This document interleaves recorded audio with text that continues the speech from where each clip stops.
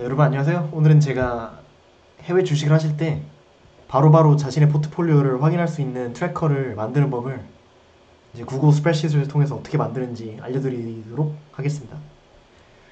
자, 보통 항상 이런 주식의 급락을 확인할 때 핸드폰을 보게 되잖아요. 이제 그러면 업무에 방해도 되고 짜증나는 부분이 한두 가지가 아니라서 제가 이제 구글 스프레드시트를 통해서 만드는 법을 배워서 여러분에게 공유드리도록 하겠습니다. 일단 구글 스프레드시트를 일단 여시고요. 차근차근 따라해주면 될 것 같아요. 제목을 넣어드릴게요.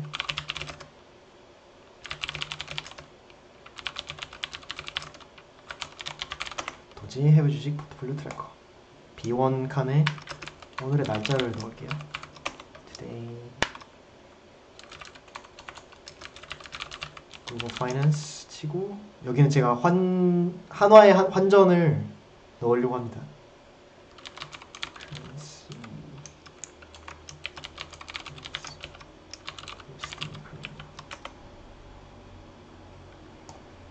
그래서 이 숫자는 지금 인터넷이랑 연동이 돼 있어서 구글이 알아서 이제 현재 한화 대비 달러의 환전을 그때그때 업데이트가 되어서 이제 이 트래커에서 자동적으로 보여주게 되어 있는 거예요. 그럼 되게 편리하죠? 그래서 이제 날짜와 환율이 되어 있으니까 이제 다음 다음에는 이제 넣을게 주식 종목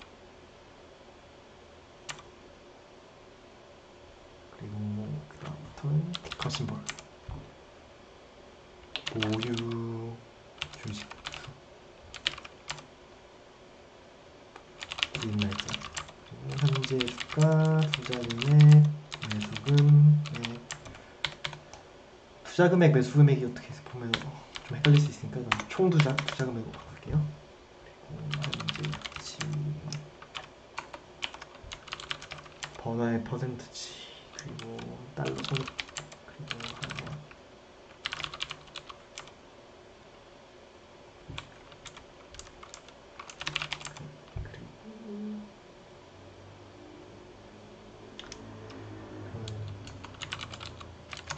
기간 이런 식으로 어떻게 하나의 틀을 만들어 보았습니다. 정렬을 하고 깔끔하게 정리를 해보겠습니다. 자 여기서 써야 될 게 그렇게 많지는 않아요. 일단 저희가 알아서 써야 될 게 일단 티커 그리고 저희가 투자했을 때 사용했던 금액들은 이제 수시로 저희가 기입을 하면 되고 나머지는 이제 구글 파이낸스라는 command를 통해서 자동적으로 나올 수 있게 하는 법을 보여드리도록 하겠습니다. 일단 이걸 하기 위해서 이제 제가 가지고 있는 포트폴리오를 까야, 까야 되니까 까도록 하겠습니다. 애플 바바 비욘드밋 드래프트킹스 니오 미디엄 SB 테슬라 아, 지금 시간이 10시인데요. 이따 끝나고 지금 원래 오늘 주식을 몇 개더 사려고 하는데 아마 이제 이 녹- 녹화를 끝내면은 당장 바로 주식 시간에 주- 주식 시장에 다시 어, 유심하게 다시 쇼핑을 하게 되지 않을까 생각합니다. 주식 종목은 이제 커맨드를 아까 말씀드렸던 구글 파이낸스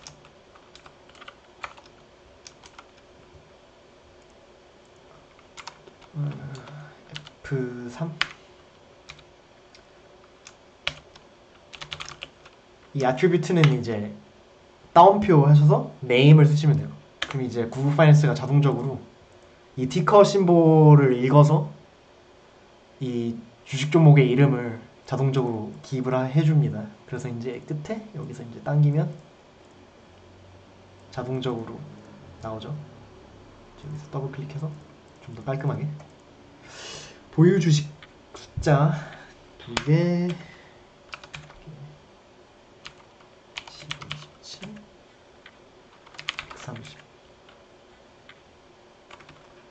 310, 57 그리고 7개 구입 날짜는 제가 지금 쓰고 있는 어플에서도 제가 잘 확인하는 방법을 잘 몰라요. 그랬는데 어쨌든 얼추 비슷한 시기에 시작을 했거든요. 이번 달 제가 작년에 해외 주식을 다 청산하고 이번 11월에 다시 시작을 했는데 대충 2월 11일 뭐야 그럼 이거를 어떻게 써야 되지?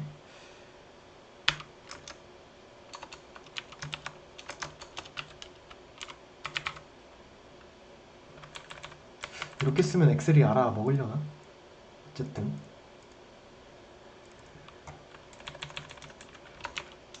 일.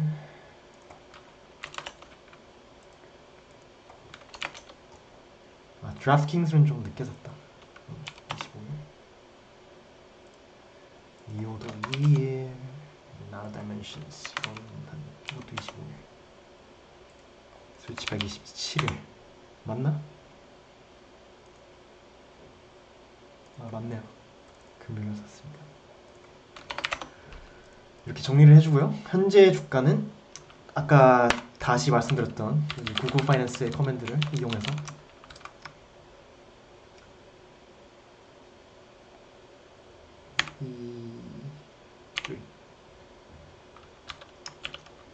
따옴표 price 가격을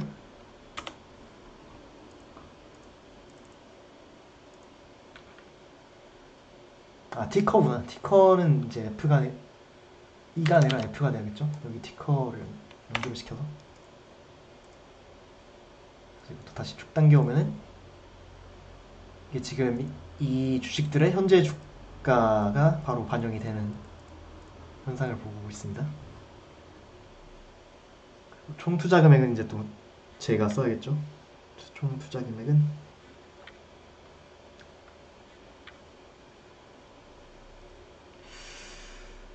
어딨어?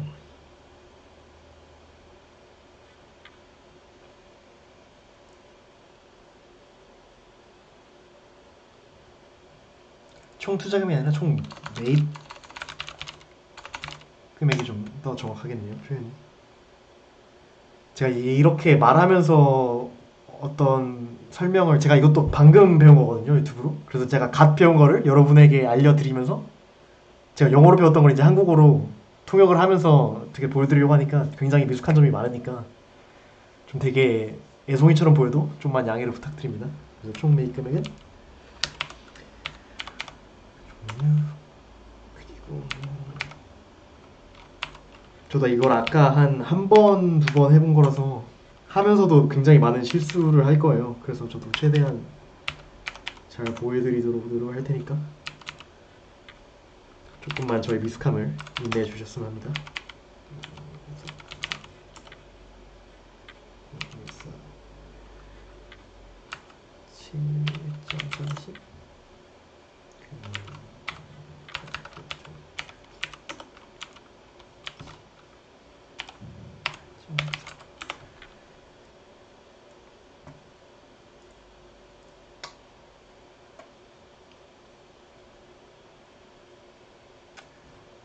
매수 금액 음, 이것도 저희가 써야겠죠.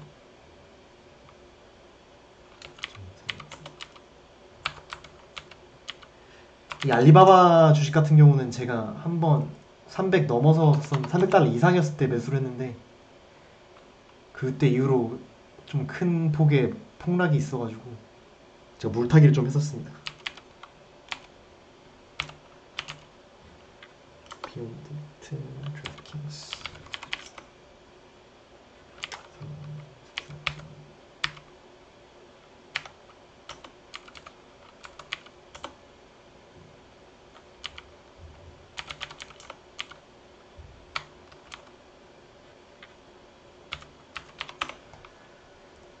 현재 가치는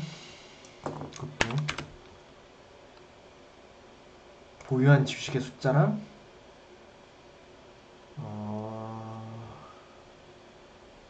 그쵸 현재 주가를 곱하면 되겠죠? 또 땡겨주면 이 주식의 현재 가치를 볼 수 있고요 그리고 퍼센트 변화는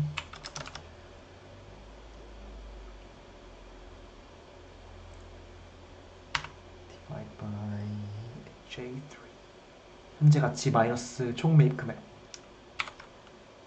그리고 이거를 다시 현재 가치로 나누면 퍼센티지가 나오겠죠?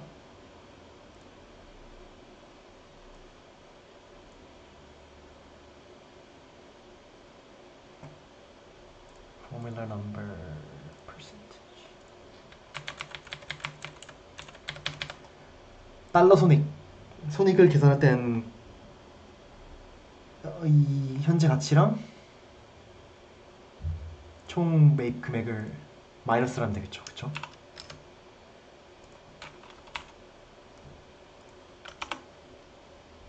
autofill 이게 format, number, currency. 이게 저 제가 이제 구매를 했었던 때와 현재 가치를 보여주는 손익입니다.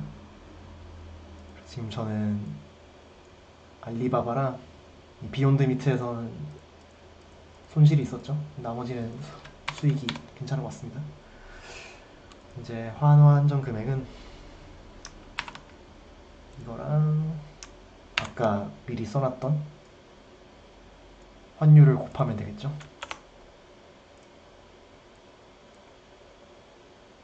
아이고 이거는 맞다. 이거를 고정을 시켜야겠다. 근데 이건 당연히 달러가 아니니까 한화로 바꿔보겠습니다. 저는 아까 한번 미리 해봐가지고 여기 코리안 원이 되어 있는데 찾으실 때 여기 more format, more currencies 그래서 South Korean 원으로 가시면 돼요. 어차피 천으로 나누면 상관없겠죠.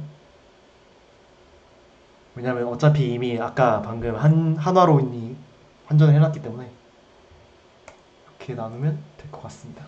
그렇죠? 네, 괜찮아 맞나 맞아 보이네요.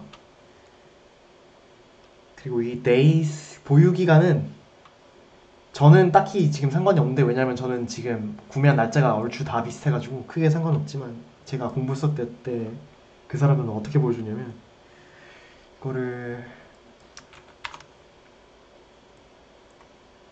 이 지금 날짜 오늘 날짜 기준 을 샀던 구매를 했었던 때의 날짜랑 마이너스를 하더라고요. 그럼 이제 지금 이 날짜가 이 주식을 산 이후에 저희가 보유를 하고 있었던 이 주식을 보유하고 있었던 기간을 말합니다. 그래서 저는 이 애플 주식을 산지 28일 28일이 되었죠. 그리고 드래프트킹스 같은 경우는 5일, 그리고 SB 3일. 그래서 얼추 이렇게 tracker가 만들어진 모습인데요. 이제 마무리를 지으려면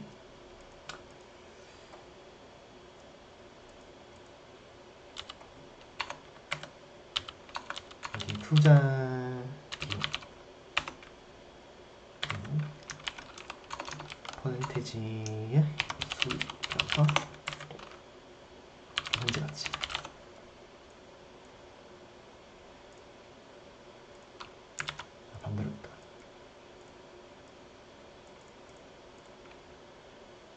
투자 비용은 저희가 매입했을 때 사용했던 금액을 모두 더하면 되겠죠?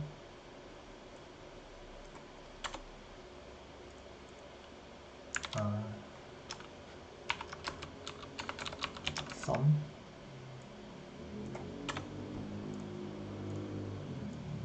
이것도 달러로 바꿔보겠습니다. currency.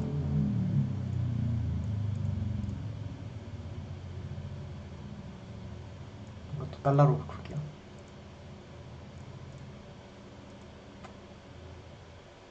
현재 가치 똑같이 썸 함수를 사용해서 투자 비용은 이제 17,000불 정도 되면 현재 가치는 21,000불 정도 되네요. 그래서 수익의 변화는 어떻게 될까요?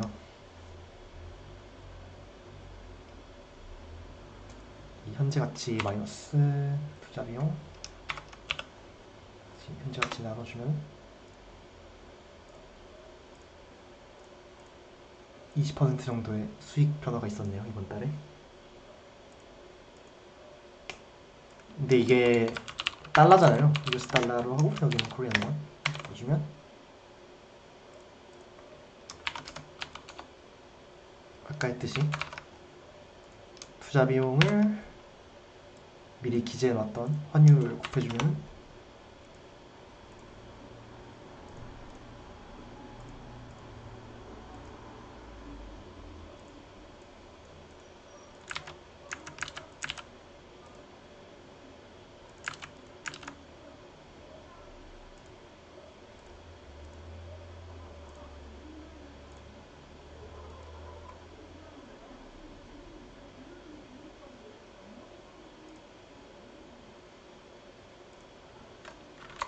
음, 괜히 잔머리 굴리려다가 잘 안 되네요. 이거를 보면 되겠죠? 그쵸? 그래서 이제 총 수익 가장 중요한 총 수익은 얼마일까요?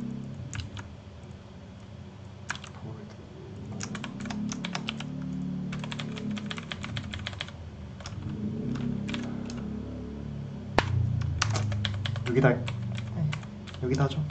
총 수익은 이제 가치 마이너스 투자 비용 이렇게 해서 저의 해외 주식 포트폴리오를 이렇게 완성을 해봤습니다. 그래서 저 같은 경우는 11월 달에 주식을 시작해서 이제 오늘이 11월 30일인데 한 500만 원 정도의 수익이 났네요. 좀 좋은 결과였던 것 같습니다. 앞으로도 좋은 결과 있길 바라는데 어쨌든 이건 저의 경우고요. 여러분도 어떻게 이런, 이런 포트폴리오를 사용해가지고 평소에 너무 핸드폰으로만 너무 이제 급락이라든지 수익에 보려고 항상 핸드폰을 보는 것보다 이렇게 스프레드시트를 보면서 수시로 이제 업무를 보면서도 이제 2차 스크린을 통해서 바로바로 확인하면은 어느 정도 도움이 될 것 같아서 이제 영상을 찍게 되었고요. 굉장히 미숙했는데 저도 솔직히 말하면서 무슨 말 했는지도 잘 모르겠어요. 왜냐면 저도 이 내용도 아까 방금 배운 거라서 헷갈린 점이 되게 많았지만 제 나름대로 열심히 했으니까 여기까지 봐주셨으면 감사하고요. 많은 도움이 되었기를 바랍니다. 감사합니다.